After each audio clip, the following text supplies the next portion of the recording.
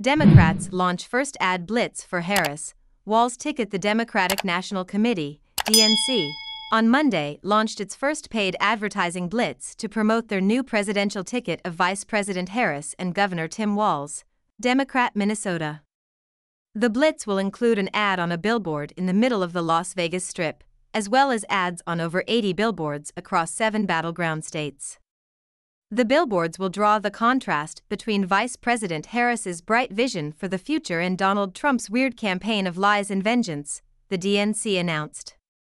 The Las Vegas and other billboards will include images of Harris and Walz with the caption, Fighting for You and images of former President Trump and Senator J.D. Vance, Republican Ohio, with the caption, Out for Themselves.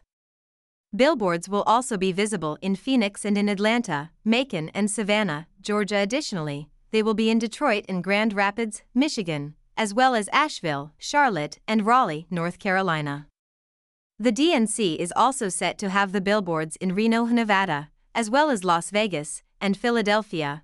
Pittsburgh and Harrisburg, Pennsylvania billboards will also be placed in Milwaukee, Green Bay, and Eau Claire, Wisc.